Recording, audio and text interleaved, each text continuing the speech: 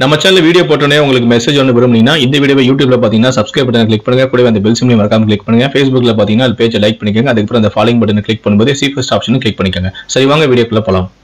நெல்லை மாவட்டம் கல்லிடக்குறிச்சி கோட்டை தெருவை சேர்ந்தவர் தான் வேலாயுதம். இவரது மனைவி தான் மாரியம்மாள். இவரது மகன் தான் நம்பிராஜன் வயது முப்பது.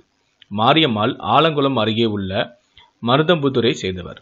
நம்பிராஜன் வேலைக்கு செல்லாமல் அந்த பகுதியில் சுற்றித் திரிந்ததாக கூறப்படுகிறது.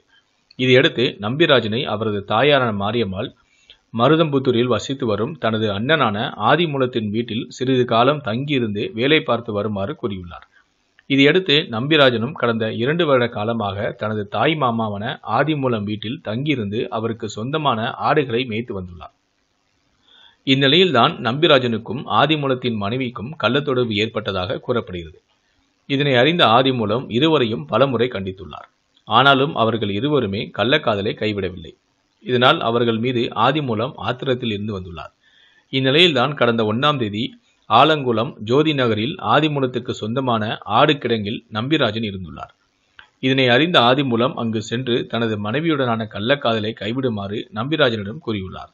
ஆனால் நம்பிராஜனோ அதை மறுத்ததால் இருவருக்கும் இடையே கைகலப்பு ஏற்பட்டது. அப்போது ஆதிமூலம் அங்கு கிடந்த இரும்பு கம்பியால் நம்பிராஜனை சரமாரியாக தாக்கிவிட்டு அங்கிருந்து தப்பி ஓடிவிட்டார். இதில் காயமடைந்து மயங்கி நிலையில் கிடந்த நம்பிராஜன் அவ்வழியாக சென்றவர்கள் மீட்டு நெல்லை அரசு ஆஸ்பத்திரியில் சேர்த்தனர்.